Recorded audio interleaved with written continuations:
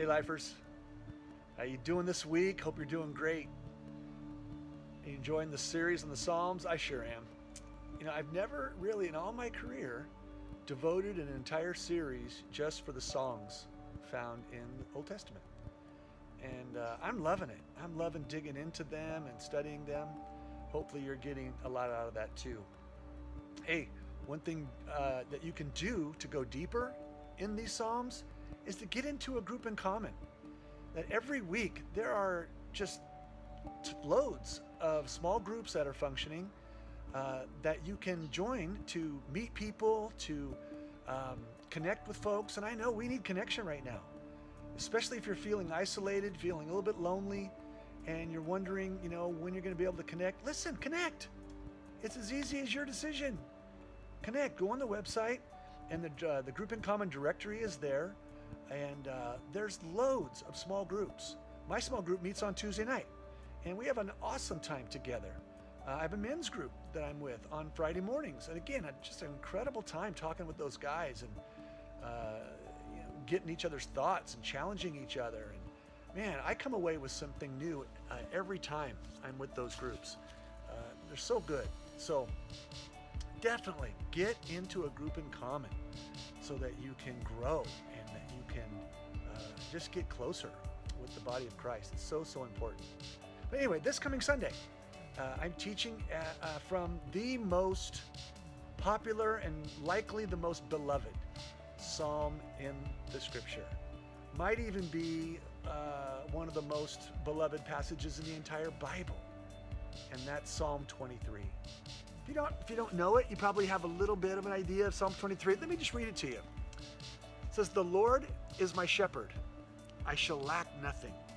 He makes me lie down in green pastures. He leads me beside quiet waters. He restores my soul. He guides me in paths of righteousness for his name's sake. Even though I walk through the valley of the shadow of death, I will fear no evil, for you are with me. Your rod and your staff, they comfort me.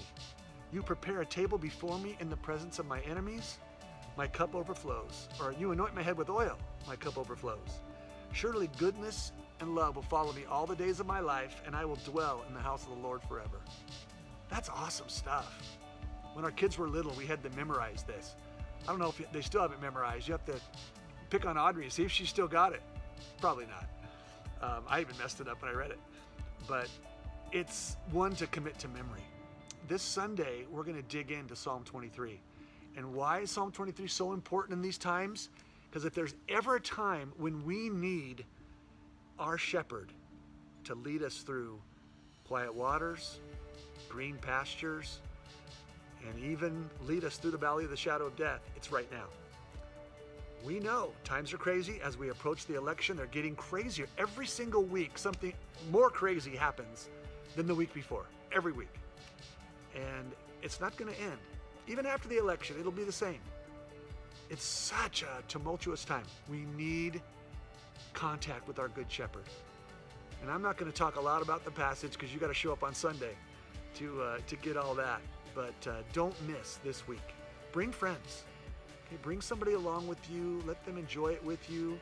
You know, on a on a Zoom Sunday morning, it's one of the best ways to bring people because they're not trapped inside a sanctuary and they can watch it from home. And if for some reason something happens or they're, uh, you know, just not feeling it, you know, they can always click it off and come back later.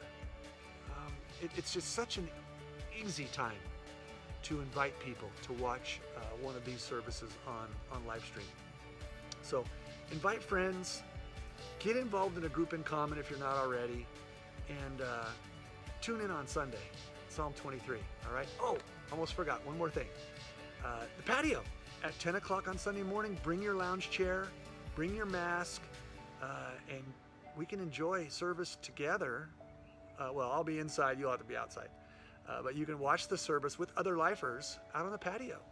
We have a 60 person limit and you can watch it, you can listen to the worship and sing along. We people have been wandering around the grass with tons of social distance and uh, just worshiping God as they hear the music play from inside. And uh, it's not perfect, of course, but it's a great alternative. Still, there's no ministry to kids, so if your kids come with you, they, you got to keep them with you. Um, but it's uh, it's just really nice to see people and to uh, enjoy some time together. So if you want to come and enjoy that, 10 o'clock out on the patio, bring your chair, bring your mask, and uh, enjoy some fellowship and worship. All right? We'll see you Sunday. Get into Psalm 23.